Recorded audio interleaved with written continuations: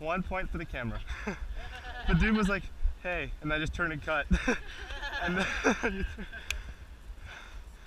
gonna, I'm gonna take a sub spin if you guys need one.